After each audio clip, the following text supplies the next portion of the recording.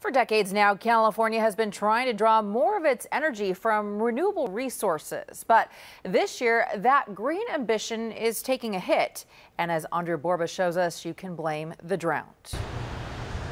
Well, the, behind us is the Iron Gate Dam. It produces approximately 18 megawatts of energy. Since the 1960s, the Iron Gate Dam has been pumping energy into Northern California, compliments of the Klamath River.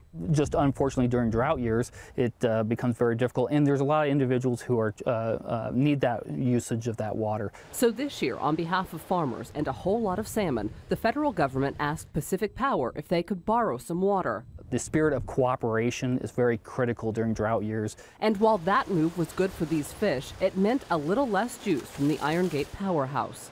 Yes, when there's a drought, obviously that impacts our, uh, our water uh, efforts.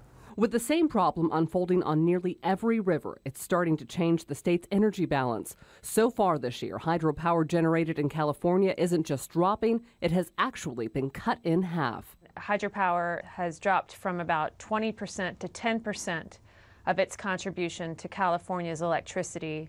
Filling the gap has been a bit more wind power, but the bigger push is coming from natural gas, which also fuels a lot of debate, namely about the environmental impact of fracking.